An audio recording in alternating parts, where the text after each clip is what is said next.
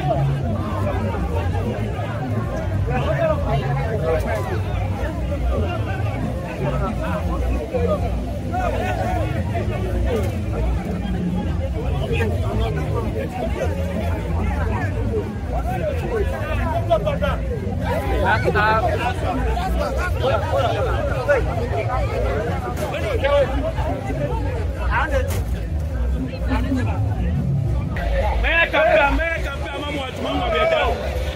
Mẹ́ẹ̀ kan fẹ́ àmọ́ wọn ti máa ń wà bí ẹja.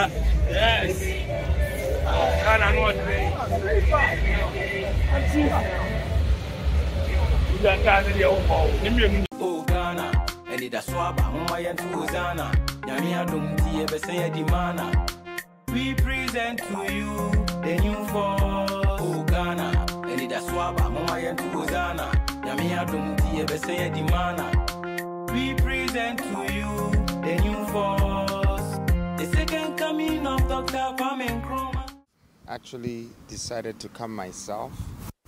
You know, uh, you need to actually get a code and go and access the form. But I'm very excited to get the forms and start the process.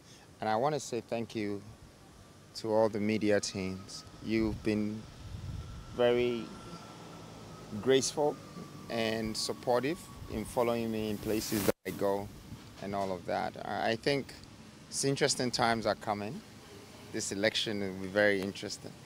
I'm probably uh, an independent leader for the new force, but I feel like it's not about the independence at this moment. Ɛnyɛ no pɛ, ebi a mɛka twi nso kakra. Sɛ ɛnyɛ no pɛ ɛne adeɛ ama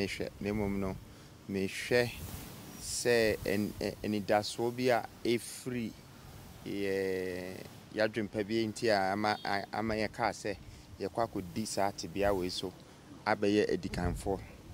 ɛwɔ man mu nti ɛno ɛyɛ adeɛ a yɛhwɛ yɛhwɛ so paa amammerɛ no so Okay, so one thing that um, became a concern, probably not to some of you, but to some of your colleagues who are seeking to also contest this election, when the Electoral Commission came up with the filing fee, the amount or the cost of the filing fee, the 100,000 for the presidential um, aspirant or candidate, um, it was greeted with a lot of concern, saying that it is um, too much. It is hindering. They are using money to cripple some people from, I mean, taking up leadership roles. What's your um, bite on that?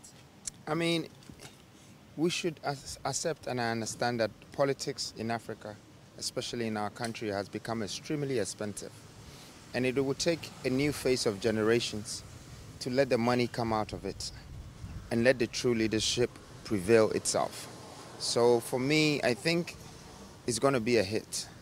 And people that are ready to go in to really make a change should find whatever possible means to be able to pay for this form. It's a form that is more expensive than your passport. I don't know whether it's going to England or heaven, but it's quite expensive. And like I said, we need to accept that politics has become expensive. We should find a way to make it economical. Okay. Right. So, uh, picking the form means officially we should expect you launching your policy document or maybe kickstart your campaign. When should we expect these two important activities? Absolutely. Very good question. All of that is coming, and I wanted to say to Ghanaians, thank you very much for your patience. I want to say to you that a true policy is not easy to put together.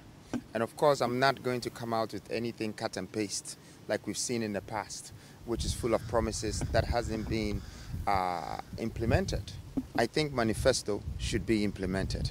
It shouldn't be an album or a true storybook that enlightens your mind but takes away your hope we are bringing a developmental agenda, and the policies in there would actually benefit the youth of this country, the women and men of this country, and how to create a workforce, a new labor force to change the country's economy and its developmental agenda.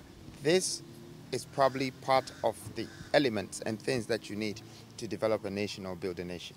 Finally, on my part, I think um, initially you had wanted to form a political party and um, you've not been able to be granted that um, license to enable you carry through with your vision of forming a political party. Now you are going to contest as independent um, presidential candidate, while a party like PNP has been given the provisional certificate to go ahead.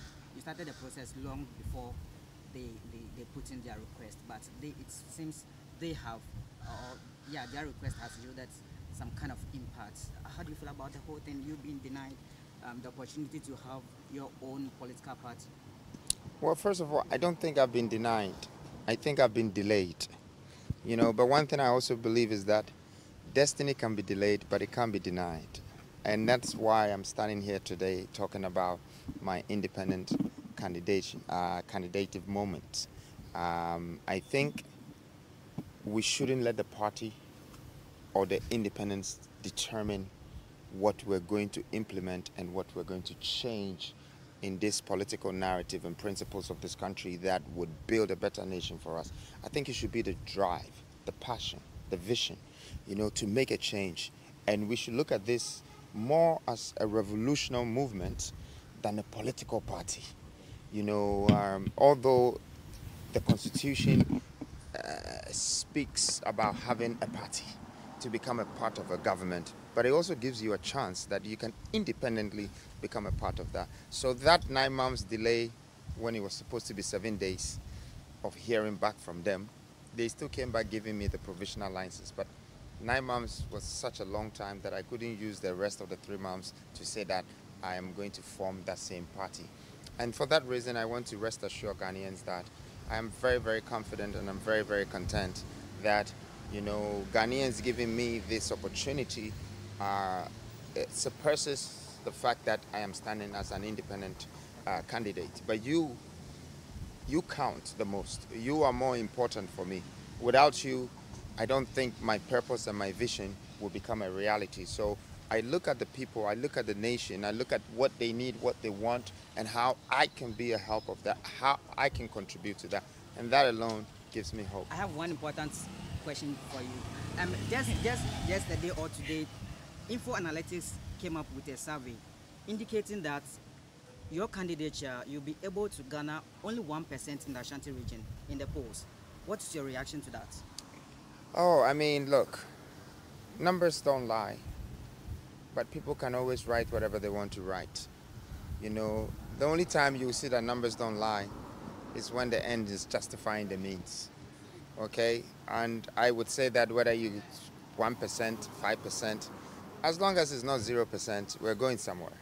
So um, you might start the race at the last bottom, but it's a marathon. People will get tired along the way. Some people will fall off. Some people might not make it to the end. Let's focus on getting to the end. There's the tunnel. At the end of the tunnel, there's a light. Okay, Definitely. so I Thank think you. quick one. about your vision and your plans. Have you met anyone with such, uh, you share same, you know, vision with someone to complement you as a running mate? Well, you know, your idea or vision is not unique if it's repeated or if it's stolen by someone and is used. I think that we're all humans, but we were all created uniquely with different purposes. However, when we come together with all our purposes, it becomes a collaborative effort. And that reason, that's when we get a different result. So I think that the vision I have for Ghana and for this nation is completely different from what I'm seeing from others. Okay, to add up to that, I know recently it came up, I don't know if you're aware, that uh, you are going to partner or take some uh, Samia Bao uh, Nkrumah as a running mate. Now, uh, as to whether it's true or not, I don't want to speak to that. But are we expecting any popular face as part of the campaign team or as a running mate? I don't think popularity is what is just going to do the job. I think the enigma, the stigma, you know, the greatness, the readiness, the mindset, the mentality, you know, the courage of that person is what is really going to make them a matching pair. So, not to call names, but remember, the man in the mask have a lot of people behind him to unveil. Also, in, also in the mask. Thank you. Thank you very much.